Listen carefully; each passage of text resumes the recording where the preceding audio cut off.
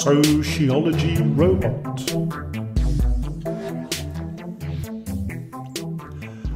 Hello and welcome to the 10th video lecture on OCR A-Level Sociology for Paper 1, looking at the nature-nurture debate.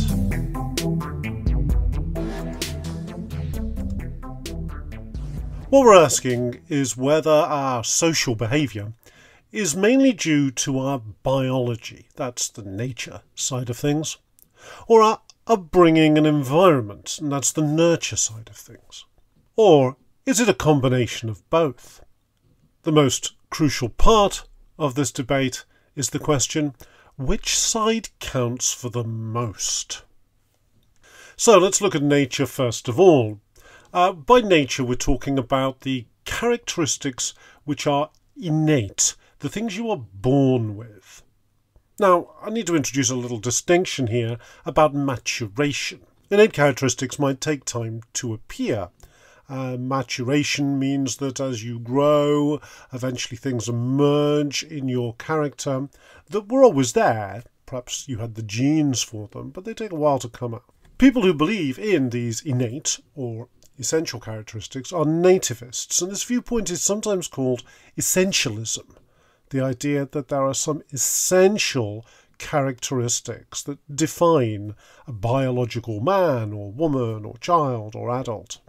Some of the most interesting research into this takes the form of twin studies, looking at identical twins who share the same genes but might turn out differently due to their different upbringings. Here are some examples of innate characteristics that we have because of our nature. Eye colour would be one. Fingerprints would be another, but fingerprints are not the result of your genes. The wrinklings on your skin that create your distinctive fingertips uh, happen in the womb, so identical twins might not have identical fingerprints. Puberty, this would be an example of maturation where hormones are released, bringing about changes in your body and perhaps personality.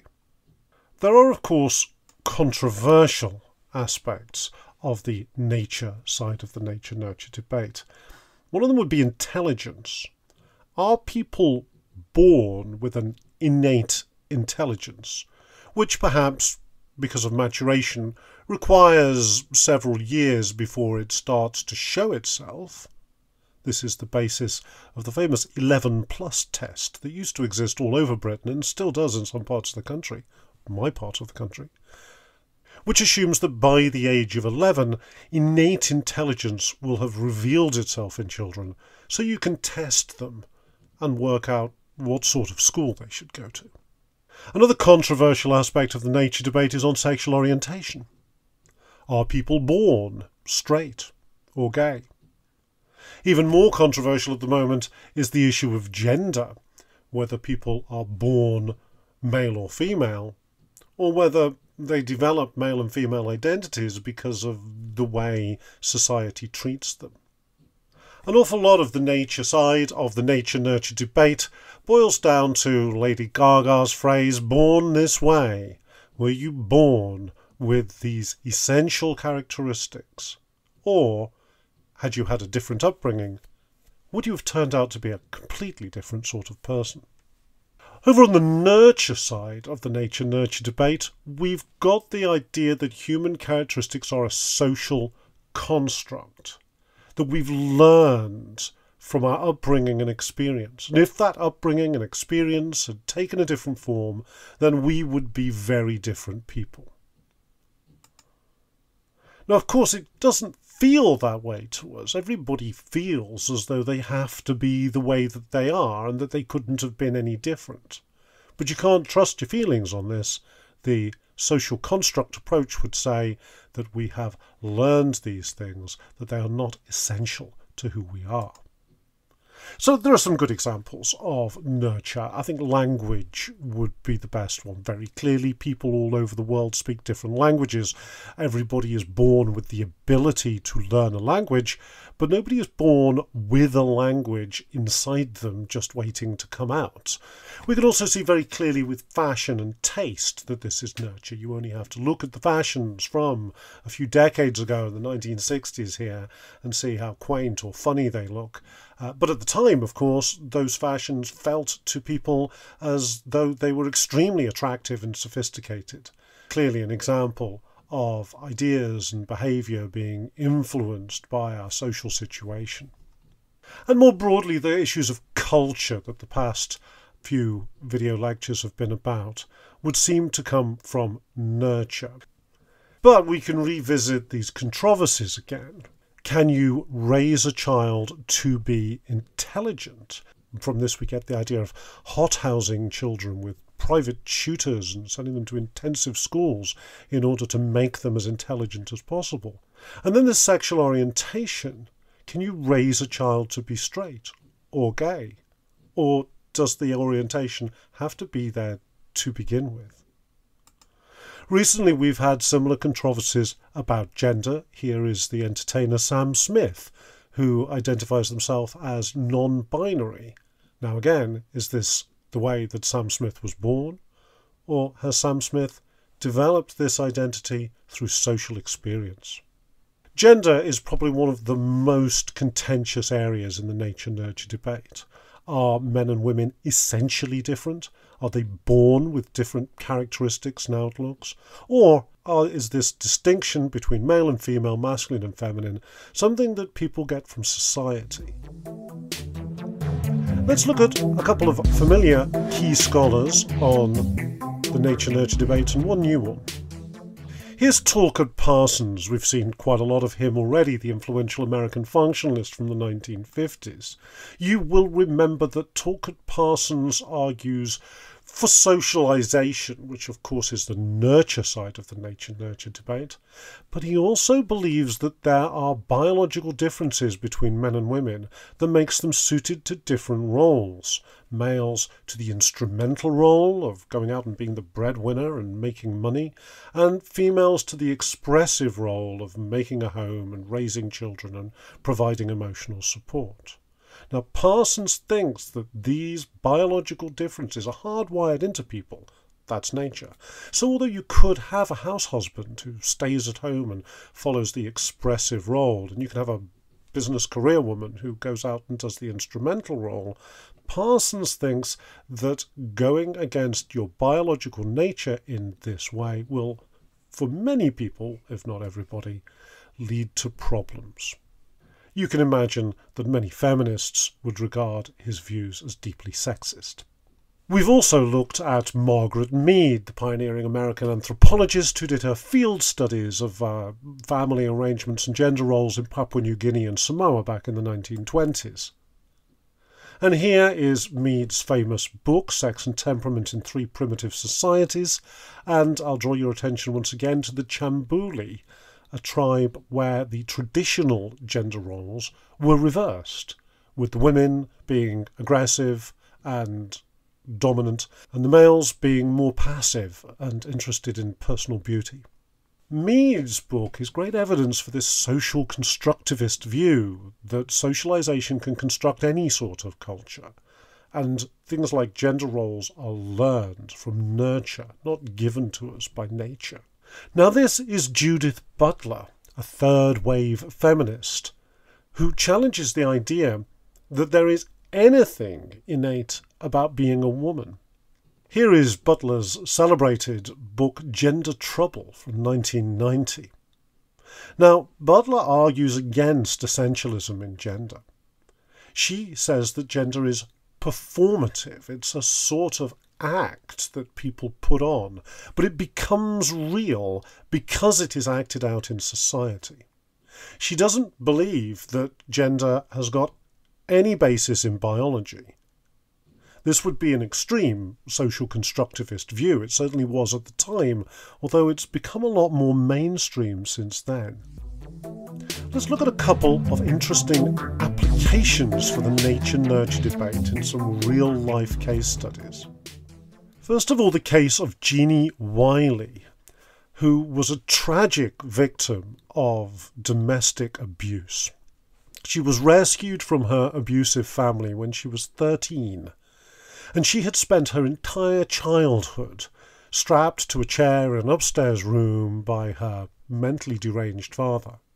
This had been going on since she was a toddler. She'd never learned to speak because nobody had spoken to her. She'd never learned to chew food because she'd been given baby food. She couldn't straighten her arms or legs. She'd never learned to use the potty. This came about from an absolute lack of human affection or intellectual stimulation in her life. After some intensive therapy with psychologists, she did learn to speak a few words, but then there was a terrible setback. She was sent back into the care system, suffered abuse again, and stopped speaking altogether. The case of Genie seems to speak about the importance of nurture, that human beings need a certain environment, have, needs to have certain experiences in childhood in order to become fully functionally human. A very different but equally tragic study is in the case of David Reimer. David was raised as a girl because in a freak hospital accident his penis was damaged in infancy and his parents, guided by a radical sex therapist, Dr. John Money, decided to keep his true birth sex from him and raise him as a girl named Brenda. Brenda was very unhappy as a girl and by her teenage years was suicidal. Her parents told her the truth you were born a boy.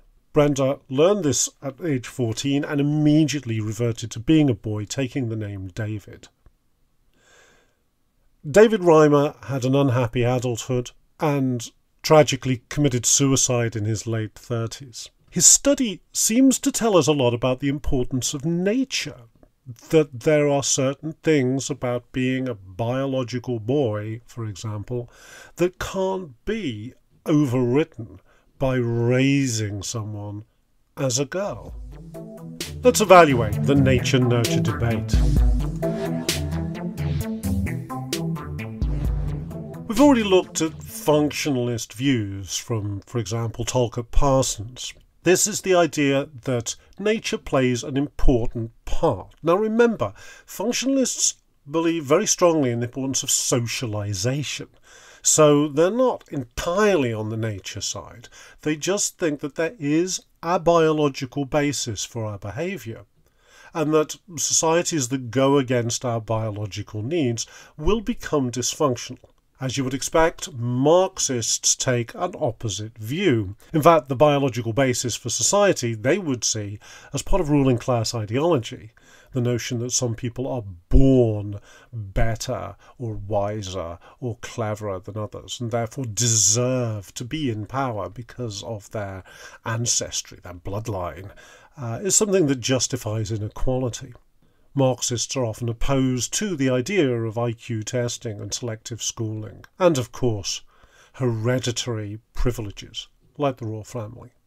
Feminists will see biological differences as part of a patriarchal ideology. Biological differences are often used to justify oppressing women, particularly restricting women to being homemakers and mothers, the way that Talcott Parsons recommends. Biological differences often justify male aggression and abuse. When boys are violent, it's dismissed with the famous phrase, boys will be boys, as if it's in their nature to do this, and so there's no point in trying to stop them. Clearly, then, nature and nurture combine in some way. The real question is is the nature element tiny? And, socially speaking, rather insignificant? Or is it huge and unignorable? We need just to take a little look back in time at the concept of eugenics. Eugenics is the belief in the biological inferiority of some groups. It was a popular way of thinking in the first half of the 20th century, and it led to policies to, to sterilize some groups so that they wouldn't have children and pass on their bad genes. Eugenic policies culminated in the Nazi genocide in the Second World War and the Holocaust. And so, ever since then, the idea of nature as an explanation for social differences has been viewed with a lot of suspicion. It's kind of stained by the legacy of eugenics. Let's take a look at some possible exam questions on the nature nurture debate. Obviously, question one, the six marker, could ask you to explain using examples the nature nurture debate. Two marks there for explaining what the nature nurture debate is, maybe with some good terminology about maturation or social construction, and the other four marks for offering examples. Question two will introduce you to two sources, a picture usually and a small piece of text. Here we've got a picture of a pair of identical twins who are both basketball players. You can look at that and say what you see, and you could say that possibly these two young men have both inherited a skill at basketball. On the other hand, it's also possible that they were raised in the same household and learned to enjoy basketball. Looking at source B, you've got a description of the famous twin study into the, the Jim twins. And since that they weren't raised together, it's difficult to see how nurture could account for these coincidences. Question three is the essay outline and briefly evaluate the view that nurture is more important than nature.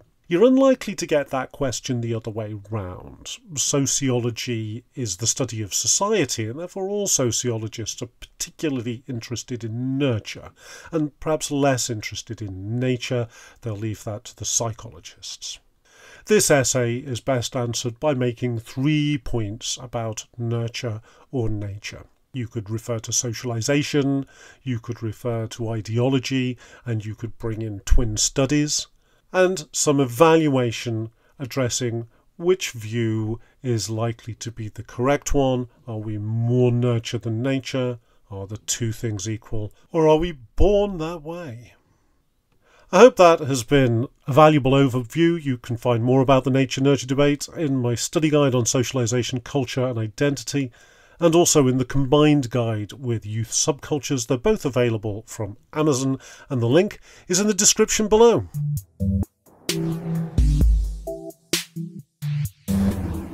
Sociology Robot